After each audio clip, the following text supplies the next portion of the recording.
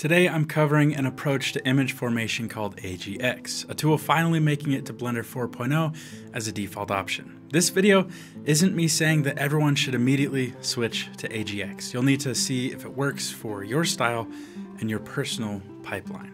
We'll establish some important background information and look at comparisons of AGX next to Filmic ACES, and even an Arri cinema camera. Now, obviously these are all super different things to be comparing, but I'll show you some color sweeps to try to simplify that comparison. AGX is a colloquial term for film material, AG being silver and X being any number of compounds. Within Blender, Filmic's been the default color transform for years now, but again, AGX is coming to the new version of Blender 4.0, so understanding what it does is going to be pretty important. We'll talk theory, science, and we'll look at some practical examples of AGX in action. To set the stage, let's talk about something called relative perception. When we look out into the world, our eyes detect light and experience color. To really understand what light and color are from a scientific perspective, we'd have to take a deep dive into electromagnetic radiation,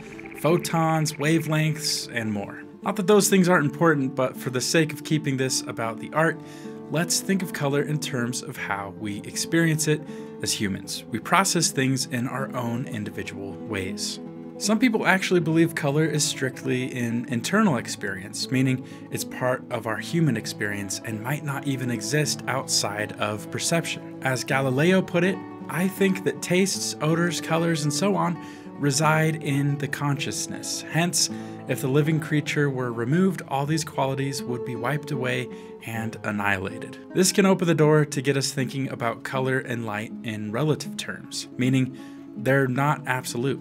We'll call this relative perception. As we break down AGX and color, it might help to lose the notion that the word accurate holds weight, or that it's somehow predictable and uniform. If anything, the human perception of light and color just isn't as uniform as sometimes we want to believe, which brings us to a really good point, and that's that cameras don't capture light and color in uniform ways either. We've got an image here used with permission from Japanese psychologist Akiyoshi Kitaoka. If I asked you what color is this train, I'm sure you'd be suspicious of me, but answer honestly based on what you see and you might say the train is red or maybe orange.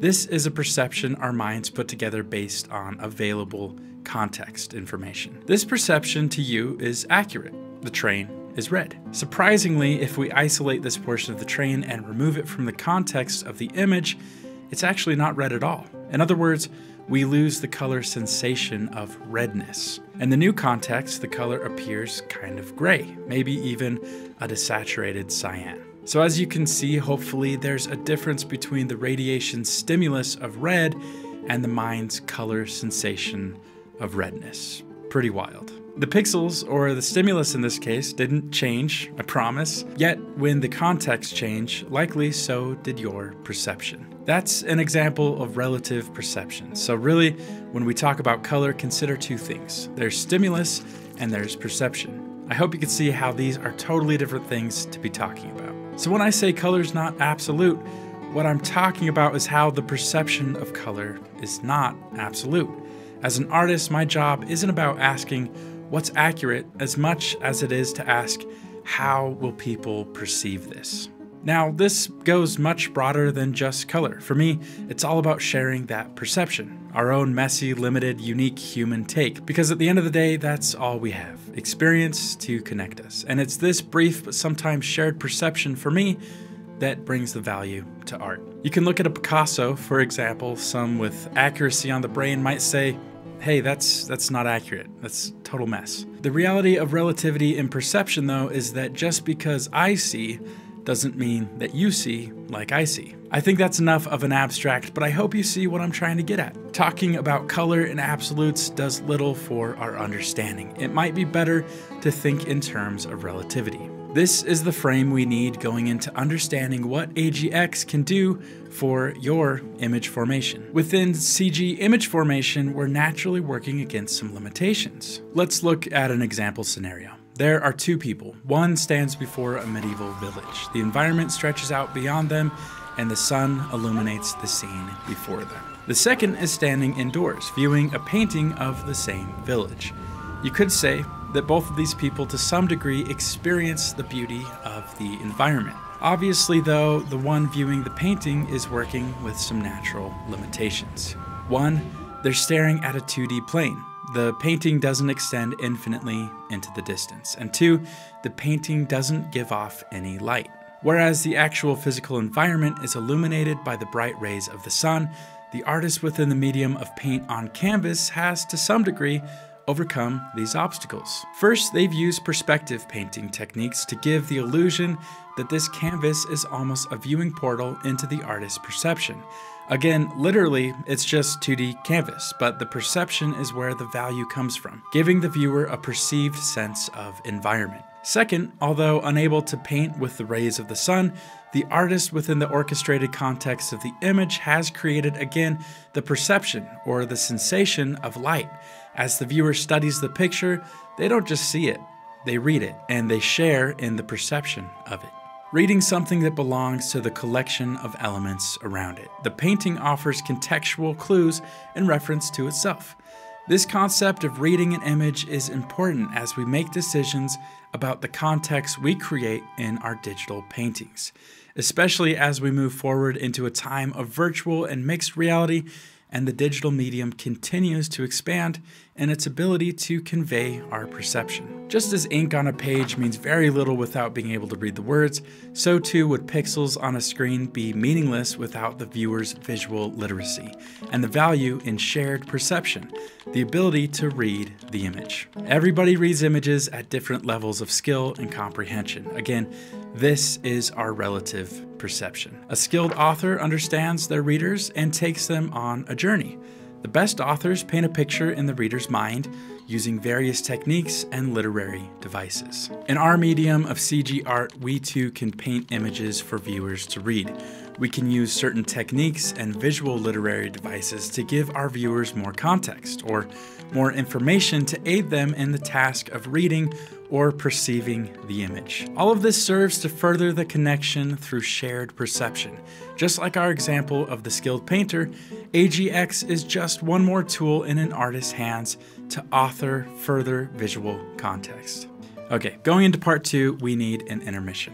I made you a present do with it what you want. But the only way to see it is to click the link in the description.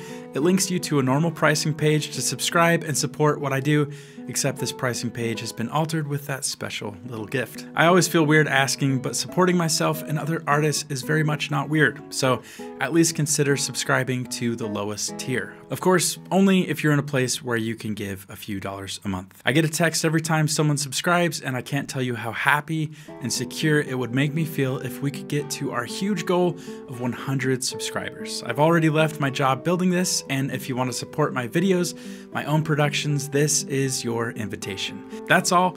Now for part two. With context established, we're ready to visualize AGX.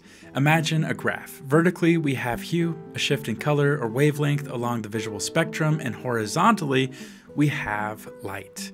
On the left, almost no light, and on the right, so much light, everything eventually becomes white. Let's pause for our friend Albert H. Munsell. Without him, we might not have this super useful artistic model for simplifying and formalizing color. Again, keep in mind our relative perception, but to visualize AGX, we'll use Munsell's three elements to determine colors hue, value, and chroma. So back to the graph, vertically we have hue and horizontally we have value. If I asked you to fill in the blanks here to progress what happens to color as it receives more value, some may be tempted naturally to fill everything in constant like this. This actually isn't the case due to something we call the Abney effect, discovered by British chemist and photographer Sir William Abney. Let's take a look at a visualization of the Abney effect on a blue color. As we add more pure white light or achromatic light, it'll actually shift in hue from blue to something almost purple. And with enough light, eventually white. This happens not just to blue, but to varying magnitudes the full spectrum of visual color. To look deeper into what happens as color receives more value, particularly in film, I'll show you some color sweeps with permission from artist Genko Uni. First up, let's look at a color sweep from an ARRI Cinema camera. Now these cameras have been standard in cinema for decades. So a quick note here, I'm talking about an ARRI camera color sweep for simplicity, but what I'm really talking about is far more complex with heaps of variables. It has to do with specific film, chemicals used on, and to process that film. Let's look at that sweep as a starting point for understanding how this iconic camera captures and displays color. Again, on the left is the visible color spectrum. As we travel right horizontally, value is increased. You can see how color from the ARRI film material reacts with light in different ways. Saturation decreases at different rates across the visual spectrum. The Abney effect is at play as color hues shift in non-absolutes. You could see how it's not uniform. Now let's take a look at the way Blender's old default Filmic transforms the same color information. As you can see, Filmic is holding onto saturation in a more uniform pattern. At a glance, you might look at this and say, great, this is predictable, this must be accurate. The result is a lot of this color ends up in the yellow, cyan, magenta space. I'll show you what a practical example of this looks like in just a minute. So one more before we look at the sweep from AGX. The next one is ACES. Just look at what happens as more value is added. Colors lose saturation at varying rates along the spectrum. If we compare that to the single ARRI sweep in Filmic, the ACES sweep in many ways is manipulating or transforming color info more closely to what might happen with the film in the ARRI camera. And finally, let's look at the AGX transform. As you can clearly see, it's a pretty dang good option if what we're going for is simulating what might happen with arguably superior methods of image formation like film in an ARRI camera. Now, it's worth mentioning I did not create these sweeps. I did not have my hands physically on an ARRI camera, but what I'm relying on here is data from sources that I trust. Scientific data only gets us so far with relative perception. This is where I have to stop the conversation around scientific accuracy. We've talked about relative perception. I've given some limited scientific info, but really, this video is entirely backwards because none of this, none of this matters without the practical results. Not from me, but from you. Download the latest version of Blender right now. That's version 4.0. Use AGX yourself. Give it a chance in a few projects and see. If you just take my word and you say, all right, Riley told me AGX is better. I guess that's what I'm using now. That's too much pressure to put on me. At some point, you'll need to take responsibility for the choices you make around your own image formation. I can't possibly be responsible for whether or not you like a particular tool. And I'll show you a practical example, but please just please try it out for yourself before you start hating on this video for whatever reason. So here we have two images, identical scenes, but one was rendered using Filmic and the other with AGX. Here's the scene in Blender, simply two spheres, a seamless background, and an intense achromatic light source illuminating the backdrop. We also have some simple fill light from an HDRI. Check out the color sweep in action. The light illuminating the background is pure white light. Filmic holds on to the magenta color in a uniform way, even as more bright white light is introduced. AGX, on the other hand, is closer to the sweep I showed from something like the ARRI Cinema camera. And this is all totally relative. You might say, Riley, I like Filmic more. And to that, I'd say, you're not wrong. I don't agree with you for this image, but you're not wrong. All AGX is doing here for me is it's providing my mind with more visual context. It's giving the image for me more readability in a way that makes sense. More specifically, it's giving us a greater gradient of difference, arguably providing us with more significant context into the intensity of the light source. Again, though, you've got your own pipeline to think about and you need to try this out for yourself. Some artists are still creating with 8 bit pixel art. That doesn't mean it's bad art, it just means they're using a tool that they like and that works for them. And Filmic might be the tool that you stick with for years to come. On the other hand, AGX might revolutionize your productions. To say that this is better than Filmic totally throws everything we talked about at the start out the window. But hey, at least now you know enough to make a decision on your own.